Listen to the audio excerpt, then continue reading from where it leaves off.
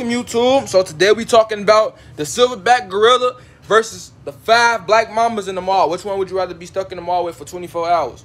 This is from RDC World. This was a uh, hypothetical debate from their live stream, and they became viral as hell. And everybody talking about it. So let me keep it a buck right now. A black fucking mamba. Look, I'm in. The, I'm choosing the black mambas, y'all. Now I don't know if y'all men. I don't know, cause like I read the comment section, bro. Like it's a lot of people that dead ass think like they can chill in the mall with a gorilla for 24 hours. Now I don't like if cause people be talking about some. They're peaceful. They're peaceful. Like if you see them, they're not gonna touch you. If they're they're your friend. If they're my fucking friend, how come we don't have these motherfuckers as common pets? How come I can't go to the pet store and get a gorilla, bro? If I walk to a girl, if I see a gorilla on the street and he looks at me man to man, he gonna beat the fuck out of me, bro. See with the black mambas, you better turn that AC up with the motherfucking heat, get you hella coats and shit, get you a knife and stab them motherfuckers. Black mambas, fuck is you talking about?